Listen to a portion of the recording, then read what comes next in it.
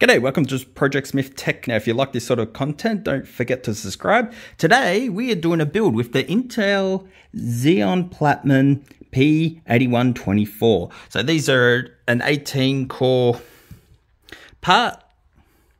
That's 36 threads or 72 threads all up. And that's going to be paired with a Gigabyte motherboard. More details on that.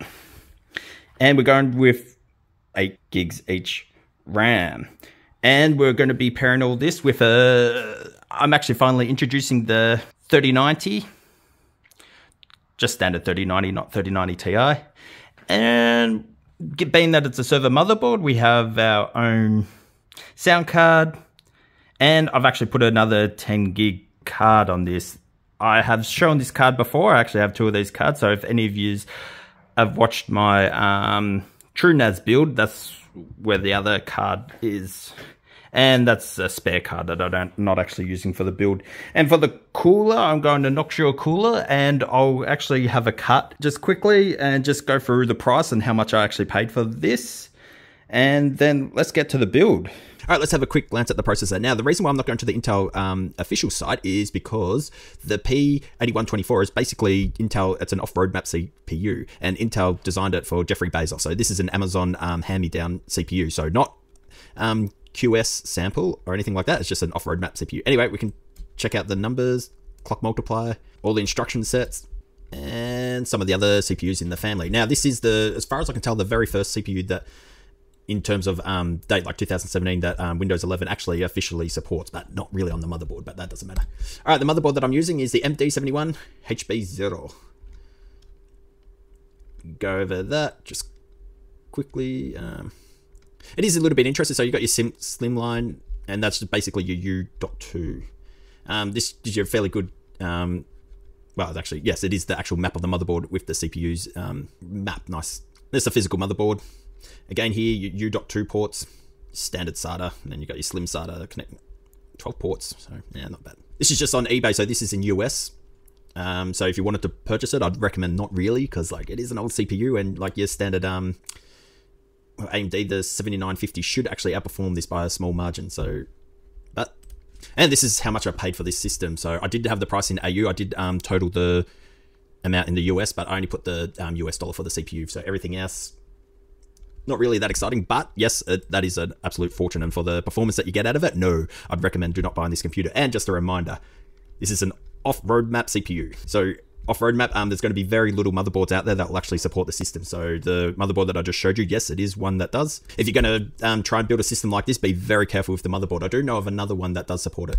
And you could pick up a motherboard for a massive 470 US dollars. Uh, some of these um, bundles do actually come with the um, CPU. So it does. Oh, these CPUs are 240 watts as well. So Gigabyte let you overrun them a bit on their board, and I've done that with the power test under full CPU load.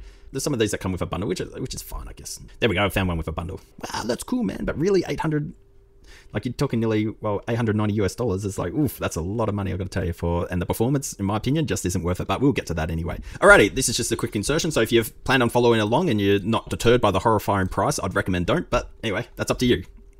All right, on to the rest of the video.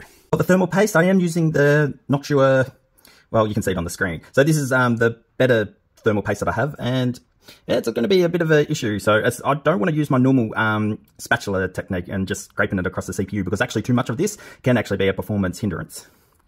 Alrighty. And if you look at here, it actually gives you um, instructions on how to do it with the socket, which is the LGA 3647. And that's the one that I've got. And I was thinking, oh, my goodness, they do not recommend that much thermal paste. So I think the beauty with this one is you've got to use as little as possible.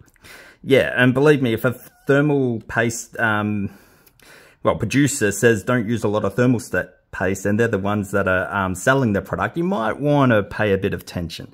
But anyway, let's get to it.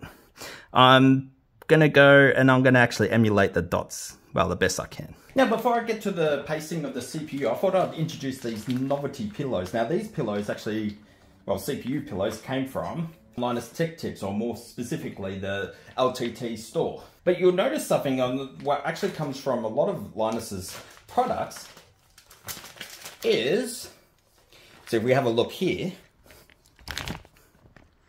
you always get these warnings, and specifically, do not drop. Now, the reason why I bring this up now, if we if we observe this CPU, this actual family, and when I say the family, I mean specifically the LGA 3647, Linus legitimately dropped these. And what I think is quite wild about it is at the time that he dropped it, these were allegedly 10,000 US dollars. Now, this obviously not this specific CPU, and you would know that during the charts that I showed you how much it actually costs, but it just it's amazing how something this could be so expensive and now it's actually well reasonably accessible. So I personally paid just a little over 900 AU for these and that was a little while ago. So I'm sure you can still pick these up on eBay cheap, but I would have already explained that if I'm doing the video scheduling correct. All right, time to actually put thermal paste on these. Let's go. All right, so we're gonna do our thermal paste. Now, don't forget the pattern that was suggested to us. All right, I'm gonna try and emulate it. So suggested like four P shape dots here. Oops, that might be even too much. Okay, that's one. Well, this is actually a lot harder than it looks. Three across and three at the other end. Yeah, that's right. So we have there. And what they suggested, maybe I'll turn it this way, that way we can sort of see. So what they suggest and what I did, absolutely identical. Fantastic. Man, I really hope that's enough. Now this part is absolutely critical. Now I'm going to go through with it. So how do we mount the CPU? So we've got this plastic shroud. And we're going to observe. So we've got the triangle. Also got the triangle on the CPU. Very small, but that's the way it is. So, plastic shroud, the triangle. So in the mounting process, it will go like this. And keep in mind, we want to have the tabs, the big clue here, we want to actually have the tabs up. So the CPU will actually clip on here. And the way to be sure is you have the triangle. So it's going to clip here.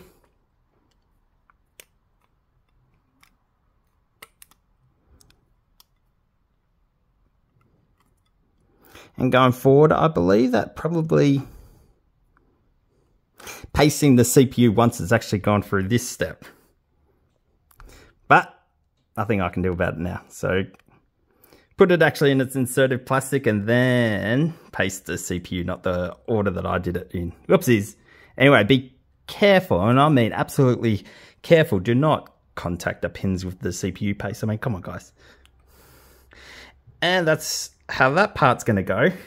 Then we grab our cooler that we've already um, prepped. So in other words, with some ethanol um, based cleaning. And we're going to place it onto the, well, you see your, your tabs.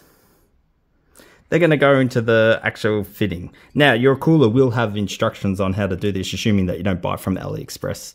And even then, you might be lucky. But you're going to want to be reasonably firm here. When I say reasonably, I mean... Uh, because there's actually the CPU cooler that actually bolts onto the motherboard. And there we go. We've mounted our CPU to the cooler. And we should be ready to place it on the motherboard. Now, these steps are critical, so I'm going to go through it nice and easy. Therefore, if any of you, for whatever reason, has, I'm guessing around $900 to spare, I mean, it's not expensive, expensive compared to what they did cost, but... Mm. Okay, now that we have the motherboard, we don't need to worry about the triangle anymore because everything was already set. So we just need to make sure that we put it in the right plate. Now you're going to see you're going to have two rods. Two rods. So if you look carefully at the motherboard, you're going to have two rods and you're going to have uh, stumpier threads. Now if we observe very carefully on our CPU cooler. We have the threads on the end.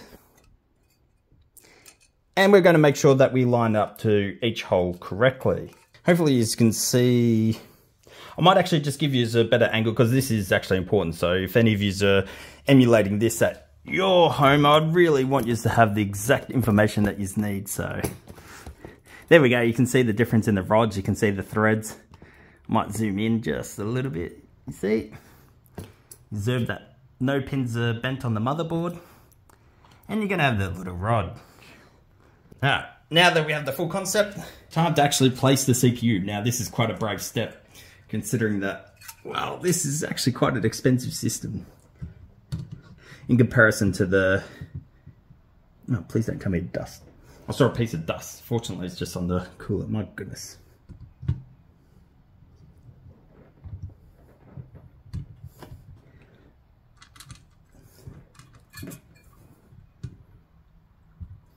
And it's having trouble going in. That's all right. Surely a good reason why. All right, and we've got to be careful not to touch the pads and whatnot. All right, let's hopefully this causes me no more problems. Okay, everything seems good right up to this point, so something's really unhappy here. Ooh, we have different size holes. Ah, that's excellent. So you guys observing this, I actually started to put it in the wrong um, way, which is fine. But if we look at the holes, and there's a bigger one here, hopefully you can see that. So if we look at the holes, and we have the smaller one, then we have the bigger one. Now what you saw there was me actually getting it wrong. But fortunately, because of the, um, well, the way it is, it's, it's only one way. So if you do put it in the wrong way, it's actually virtually impossible. So fortunately, we got that sort of before it came any big problem. And these two rods are different. So once we turn it around to the correct way, it all goes on nicely.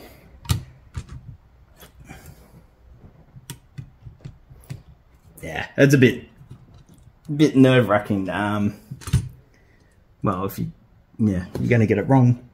All right.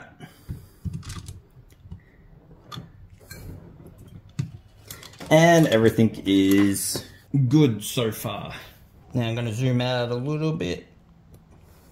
What you're going to want to do, your first screws you're going to do up is do on the outside. And you're doing these not very hard. So basically I just nip it. So they recommend um, in the instructions from memory that you put about 5 newton meters of torque, which is very, very light. So basically you're just hand tightening these. Then once you do that, then you do the... This is the one that actually compresses the CPU onto the motherboard oh, to make sure that you get the correct contact with the pins. So this part, easy enough. And once I'm satisfied with that, yeah, and, and that's all the force I'm using is just a single hand. Go to the other side. And what I do is just hand tighten each one of these so I can see that the thread's going on. It's going on correctly. There's no um, anything that's going to be detrimental to our build and yes the CPU I did actually blow that out too and it's still got dust on it so. So you can see that. No issues. And that side's also well hand tight. So which I'm gonna just dub the 5 newton meters of torque which is I'm sorry I don't know what that is in foot pounds but I assume very light. Uh, I think that's a better instruction. Now for these things got the spring here and we're just going to go, I don't know if it's necessarily the correct way, I could be an idiot, but I'm just going to go a little bit on each side until it's fully compressed and then just a tiny nip as well. And that should be enough torque for our um, CPU. Unfortunately, I don't have a good way of filming both sides at the same time. And we're still struggling a bit. So I turned the whole motherboard around. There we go, a bit better there. Now, with all the new server chips coming out, you should actually see an influx in the well on the marketplace with um, older Xeon CPUs. So if you actually have a sensible use for them, which is nothing that I'm definitely not doing anyway, that's for sure. Turn. Um, yeah, you should actually start to pick these up fairly cheap. Turn. And you just do that until you've come to that tight point. Oh, and as you can see there, I've reached the end point. And I don't need to tighten it much more than that. So I'm just... Once it stops turning, yep, boom. And that's a secured um, cooler. So the cooler actually secures the CPU to the motherboard, which is, um, yeah, well, that's very interesting though, isn't it? And while I've got this angle, I might as well do one of the RAM sticks because I will go. Do not use the black um, RAM stick. So that's they're specifically designed for the persistent memory.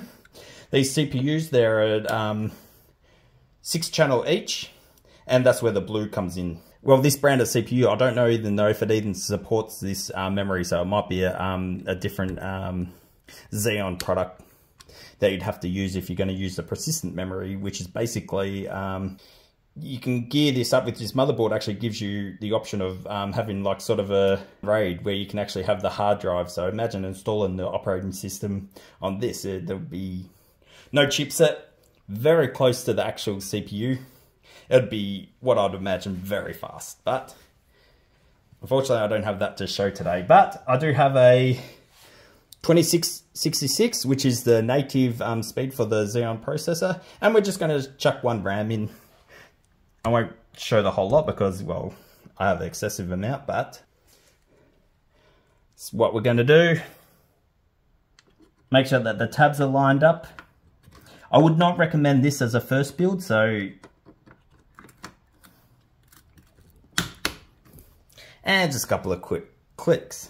Anyway, that's that part of the um, job done. Okay, now that we've got the two coolers on, all RAM sticks uh, installed, quite a beefy motherboard. I want to talk to you quickly about the case. Okay, now I obviously have to sit really far away from the case. So this case is the Thermaltake Core WP100. Now they do have a 200 version, which just basically means it is twice as fat and you can put um, two systems in here. I've actually had quite a few systems in this case, so eventually what I was going to do is um, purchase either more hard drive bays. Seems to be no shortage of them, and I would have had cooling. But the only downside to this case is they've gone to absolutely no effort with um, any sound dampening. So this is basically a work case. You either put your water cooling components in here, or you can definitely fit a full-size server motherboard, which we'll definitely go through. And if you want to, you even got more hard drive bays, even under here, even though they don't specifically mention. And powering this, we won't be able to see it, but it is the Corsair, because I wanted a reliable um, power supply, which is the, I believe it's the 1.3 kilowatts or 13,000 watts, depending on how you This is my cable management so far. I haven't actually...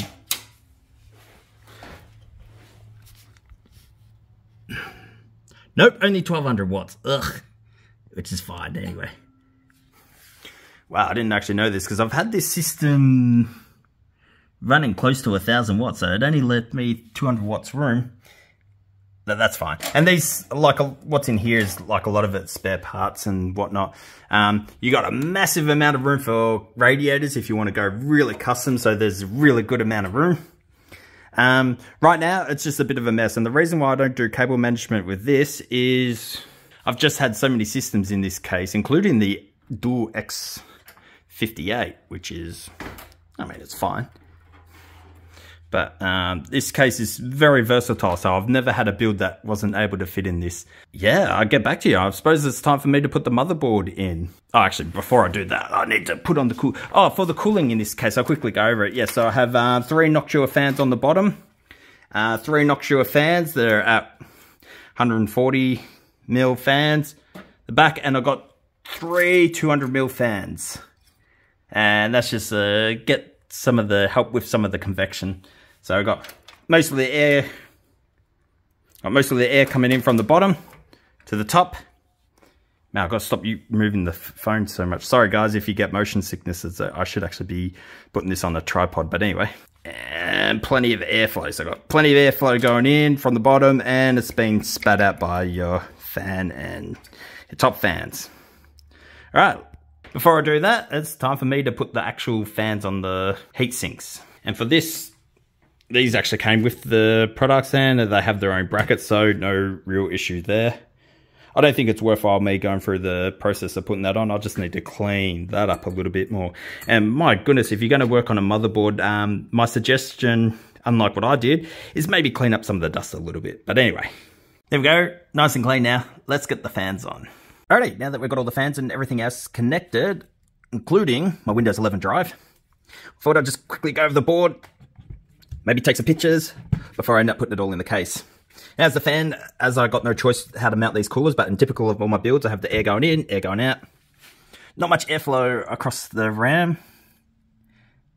Apart from that, everything's hooked up. Might as well let's get it in the system. Then I can put the 3090 in. And believe it or not, let's do some gaming and just some light benchmarking and we'll see.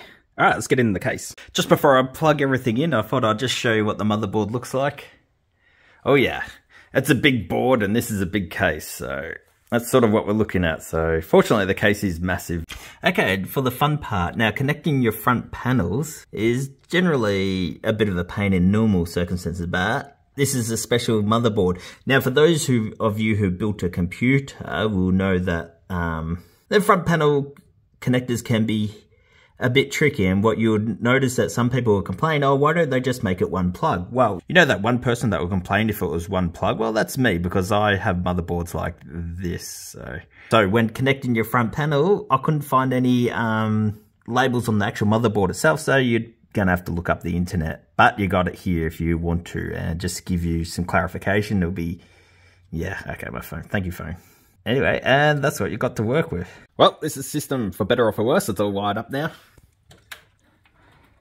every single thing. I've got the, you have to have your own sound card as well.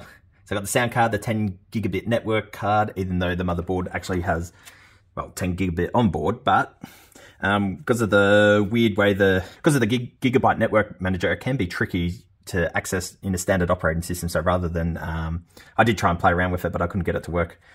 So I just found it easier just to get a cheap card.